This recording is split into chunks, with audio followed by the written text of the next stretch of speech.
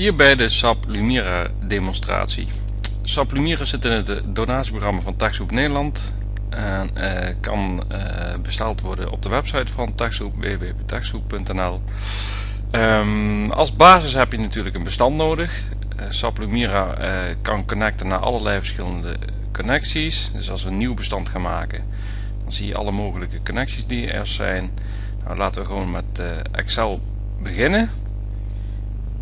Dan kun je nou op je harde schijf gaan browsen naar een Excel bestand. Maar laat ik eerst zien wat ik gedaan heb. Ik heb zelf een demonstratie uh, in elkaar gezet met alle transacties uit de donatiemodule van Geef Gratis. Je ziet dat het over 125.000 records gaat. Kijken of daar ook SAP Lumira goed mee overweg kan. Dus we gaan terug naar SAP Lumira. We gaan even browsen op de harde schijf naar het bestand. We kiezen nu het bestand wat we willen gebruiken. Lumira gaat nu het bestand analyseren. Hij ziet zelf alle records en velden uh, die in het bestand zitten. Vaak heb je natuurlijk op de eerste regel de kolomnaam staan, dus dan vind je dit aan. En eigenlijk zeg je dan create een nieuw datasetnaam. Nou, laat ik dit anders noemen. Laat ik dit uh, noemen demonstratie SAP Lumira. Create. Nu wordt uh, het Excel sheet uh, geannuleerd. Je ziet dat er nu 126.000 rows verwerkt worden. Dus uh, waarbij Excel heel langzaam reageert, geldt dat SAP Lumira dit snel analyseert.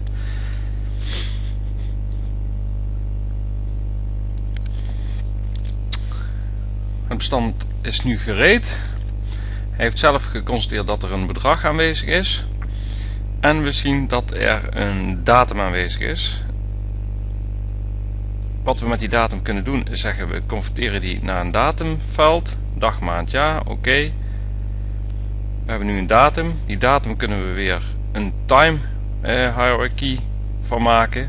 Daarmee maakt hij eigenlijk een jaar, maand, kwartaal en dag aan. En nu kunnen we eigenlijk al de eerste analyse doen op basis van onze Excel sheet. Ik zeg, we maken een overzicht van alle donaties. Je ziet dat het totaalbedrag donatie 6,8 miljoen is, maar dat wil je eigenlijk per jaar zien. We zo. We zetten nog wat velden aan.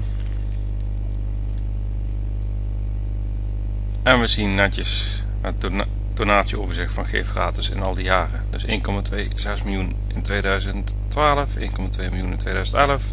En dit zijn de donaties tot aan uh, december in uh, 2013. Je zegt save. Deze grafiek vind je bijvoorbeeld voldoende. Je wilt nog een nieuwe grafiek maken. Je drukt op plus. Uh, we maken gewoon nog zo'n grafiek. We doen het gewoon weer per jaar. En nu kunnen we nog verder gaan filteren. Dus als we gaan filteren op betalingsmethode. En we zeggen we willen deze excluden omdat het een lege is. We zetten weer alle labels aan. Dan geldt dat we niet uh, de betalingsmethode eruit gehaald hebben. Dit klopt dus op zich wel. laat ik even dan ideal pakken. Ik zeg alleen keep only. We zien nu wat er met via ideal is gedoneerd. Nou, als je dat ook wil zeven, dan zeven die ook. Ik wil dat eigenlijk op een andere manier laten zien. We pakken gewoon weer een nieuwe grafiek. Die pak ik dadelijk nog even als voorbeeld. We doen nu weer het bedrag. En ik pak even een grafiek per land. Want we hebben dus ook geografische indelingen. We kunnen van een land netjes een uh, geographical hierarchy maken. We zeggen by names. We doen het alleen even op land. Je kunt het ook nog per stad, etc. Kijk, hij heeft alle landen geanalyseerd. En we zullen nu zien dat je dit per land kunt laten zien. Dus waar komen de meeste donaties voor? Dan zie je dus over de hele uh, landkaart van de wereld waar de donaties uh, binnen zijn gekomen. Dat er is toch dus vanuit de United States 153.000 euro gedoneerd. Nederland is het meeste. Als we inzoomen zie je dit dus per land. Dan zie je bijvoorbeeld dat er uit en Egypte 70 euro is gedoneerd aan Spanje, etc. En zo kun je het per land laten zien vanuit um, Lumira. Dus die slaan we op, ook op. We pakken nog een uh, cirkeldiagram als voorbeeld. Dan zie je dus uh, per land. Laten we die opslaan. Pak een nieuwe grafiek. Maken daar ook een cirkeldiagram van. Zeggen we weer op basis van bedrag. We doen het nu op basis van geslacht.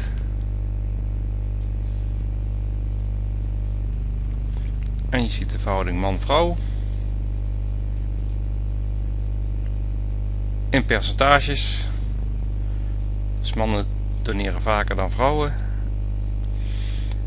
Ook een mooie. We pakken weer een nieuwe grafiek. Met een cirkeldiagram. We doen het nu op basis van betalingsmethode. Op basis van de bedragen. En we zien netjes wat iedere betalingsvorm heeft bijgedragen. Ideal is dus 76% in totaal over al die jaren. Creditcard 13%.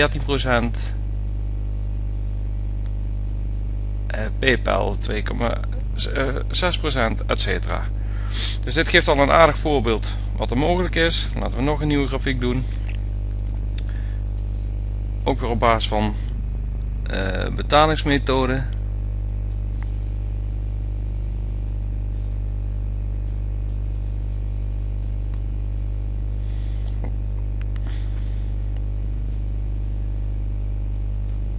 Waarbij je dus het volgende kunt doen. Je zegt doe mij een rank value. Ik wil alleen de top 5 betalingsmethoden hebben. En je ziet weer netjes de bedragen erbij. En dat kun je dan ook nog per jaar gaan filteren waarschijnlijk. Kijk. En zo kun je het allemaal nog per jaar laten zien. Ik denk dat ik hiermee een uh, goede demonstratie heb gegeven van Lumira. Uh, wat ook nog mooi is om te laten zien is dat je bij Lumira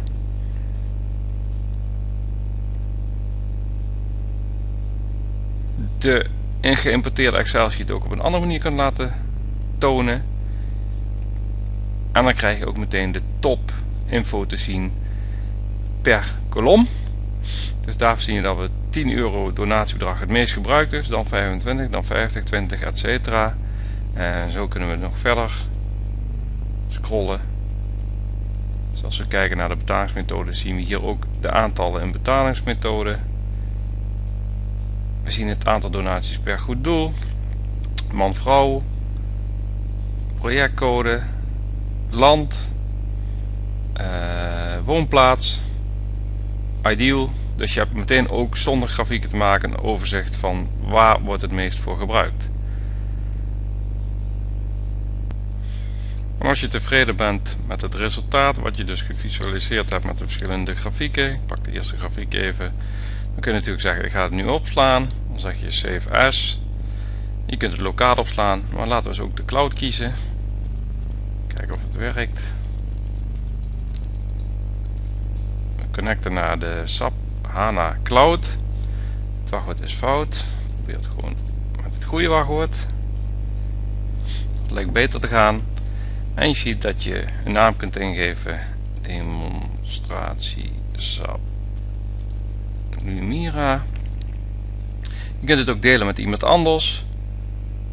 En users kunnen dit uh, document viewen. Dus je kunt dus ook binnen de organisatie uh, jouw data delen. Dus ik zeg save. En het bestand wordt uh, in de cloud bij SAP op de servers geïnstalleerd.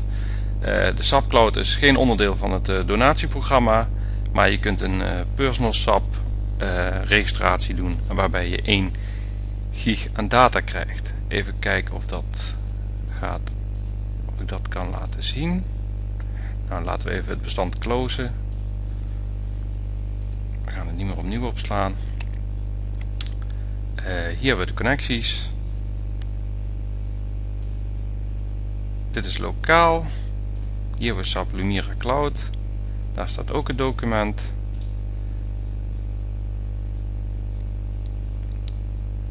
En we hebben hier het ingelogde Lumira account. Nou, het document weer even openen. Ik denk dat ik hiermee een uh, mooie demonstratie heb gegeven wat je met uh, Sublimieren kunt. We hebben het natuurlijk gebaseerd op de informatie vanuit Geef Gratis. Maar je kunt je natuurlijk als goed doel uh, ja, voor jezelf verzinnen wat je hier allemaal mee kunt. En hiermee kun je je data over projecten, acties, evenementen, etc. heel goed inzichtelijk maken voor je stichtingsbestuur of net diegene die informatie wil krijgen over je organisatie. Maar wat nu als je het bestand wil updaten? Als we het bestand nu openen met Excel, dan gaan we even testen of het ook uh, zo kan werken dat zodra je een bestand update alles werkt. We gaan het bedrag even naar 2 miljoen zetten bij dit goede doel. Als test. Ik sla hem op.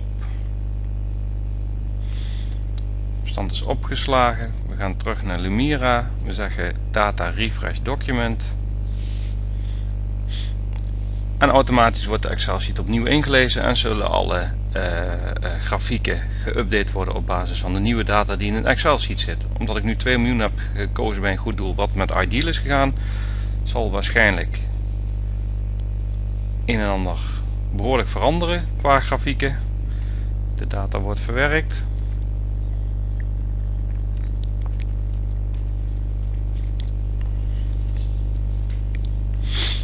En daar is nieuwe data. En opeens blijkt dat vrouwen vaker doneren. We gaan terug naar de eerste grafiek. En je ziet dat alle grafieken up-to-date zijn gebracht. We pakken even Ideal erbij. En je ziet opeens dat die aanpassing in de Excel sheet voor volledig nieuwe grafieken heeft gezorgd. Dus je kunt ook bestanden opnieuw uh, updaten als de Excel sheet aangepast is. Er zit ook nog een uh, Lumira agent bij, waarin je in kunt stellen dat uh, maandelijks automatisch de Excel sheet opnieuw uitgelezen moet worden, waardoor de grafieken iedere maand helemaal geautomatiseerd vanaf je desktop uh, up-to-date worden gebracht. Dan hebben we ook nog een share optie. En met de share optie kunnen we een grafiek delen. Ik kan bijvoorbeeld zeggen send visual, visualization by email.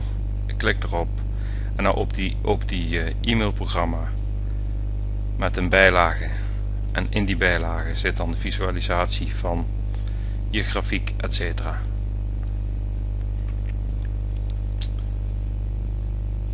Bij deze wil ik de demonstratie van de SAP Lumira sluiten en ik denk dat dit een eh, goed beeld geeft wat je met SAP Lumira allemaal kunt doen. Wil je dus bestellen als goed doel? Ga naar www.techsoep.nl, meld je aan, kijk of je eh, in aanmerking komt voor de donaties van de verschillende donatiepartners, waaronder SAP. En je kunt uh, Lumira uh, bestellen uh, via de productinformatie op techsoep.nl.